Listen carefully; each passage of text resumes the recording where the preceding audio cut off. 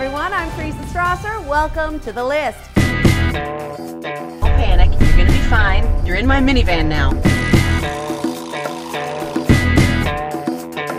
You have swagger. No, I had it. I took a 10 day course of antibiotics and I felt fine ever since. I miss you every day. Every day? Every other day. You look really good in armor. Easy. Asking for a friend. Does this pair well with Xanax? Uh, In your 20s, you want a guy who's good between the sheets, and in your 30s, you want a guy with good sheets. I declare my independence from the dignity I had five minutes ago. What I love about super wealthy people is that they find new ways to make me feel small. Now I feel like now I feel like Naming your child is your first important act as a parent. In New Zealand, parents have to run their name choices by the government. And that is why six kids are not named Lucifer. Seriously. Other rejected names just released by the country's registrar Mafia No Fear, For Real, and Anal. Wait, what's wrong with that? Oh. Right. The Declaration of Independence promises us life, liberty, and the pursuit of goods and services at affordable prices. And that is where the 99 cents only store comes in. This is a day to celebrate freedom. Now, 99 cents isn't free, but it's pretty close. Feel the quality.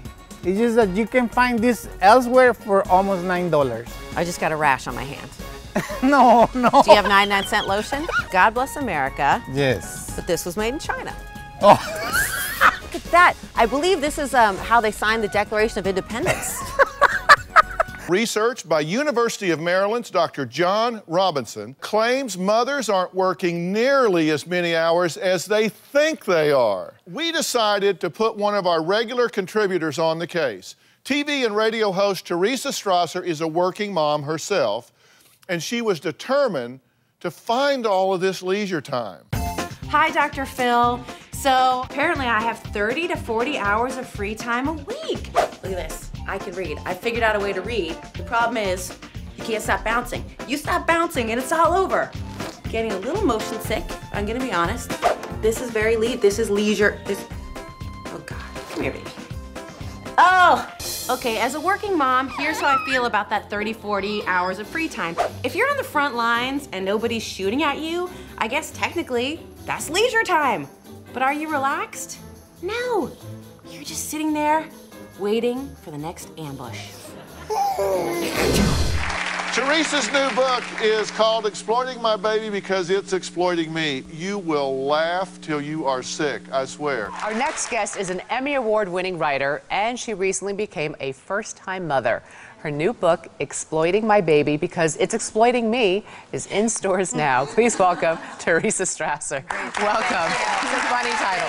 What piece of advice do you wish you had heard when you were pregnant? There's going to be a moment about three weeks after your child is born. You will be sitting on your front stoop. you will be crying. And you will think to yourself, when are his parents coming to pick him up? okay, something about watching Yeah. an adult movie Another for guy grown-ups. at. Yes. Yeah. Make somehow a competitive thing happen in your body. Oh. And so So you're doesn't more- it make the sperm stronger so it gets right there? That's it. That's it. Who knew? And you put that in your book. Yeah, you know what? I'm like, I'm like, you know, the Woodward and Bernstein of um, bodily functions. Would it be okay to masticate in public? That's nasty. No. Something I love to do. Should you masticate at a restaurant? No. I just did that at Chipotle. Would you guys ever want to masticate at the same time? we were talking about chewing. You know we were talking about chewing. Angina, is that a body part?